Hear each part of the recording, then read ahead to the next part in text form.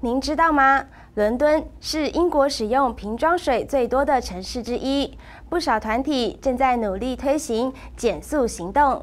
有位艺术家用一万五千个丢弃在伦敦各地的保特瓶，打造出一个装置艺术，希望唤起人们对塑胶垃圾泛滥的重视。而展示地点就选在伦敦动物园，吸引小朋友的目光，让环保意识向下扎根。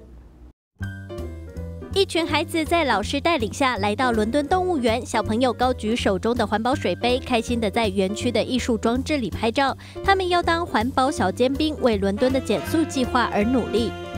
这个高四点九公尺、被称为“废物空间”的装置艺术，是由一万五千个废弃保特瓶制作而成。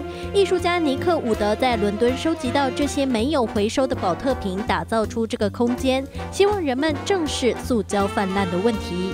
Now, One Less is all about transforming London from a city that currently uses over a billion single use plastic water bottles every single year into a city that instead refills. So, we want to create a cultural shift. Um, instead of buying the, the current average of 175 single use plastic water bottles per adult every single year, 伦敦是英国使用瓶装水最多的城市之一。保特瓶被随手丢弃后，部分会从泰晤士河进入海洋。